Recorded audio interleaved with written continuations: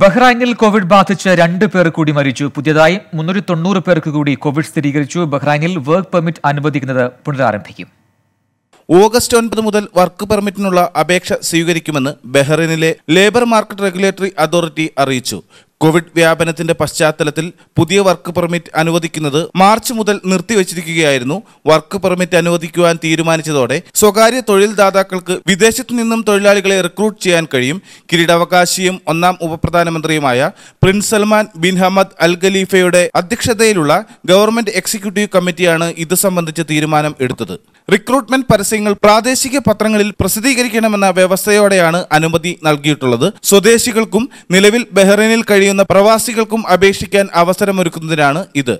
പരസ്യം നൽകി രണ്ടാഴ്ചക്കുള്ളിൽ സ്വദേശികളോ ബഹ്റൈനിലുള്ള പ്രവാസികളോ അപേക്ഷിക്കുന്നില്ലെങ്കിൽ വിദേശത്ത് നിന്നും തൊഴിലാളികളെ റിക്രൂട്ട് ചെയ്യാവുന്നതാണ്. ബഹ്റൈനിൽ കോവിഡ് ബാധിച്ച് രണ്ടുപേർ കൂടി മരിച്ചു. എഴുപത്തിയഞ്ചും അൻപതും വയസ്സുള്ള സ്വദേശികളാണ് മരിച്ചത്. പുതുതായി മുന്നൂറ്റി തൊണ്ണൂറ് പേർക്ക് കൂടി കോവിഡ് സ്ഥിരീകരിച്ചു. ഇവരിൽ ഇരുന്നൂറ്റി പേർ പ്രവാസികളാണ്.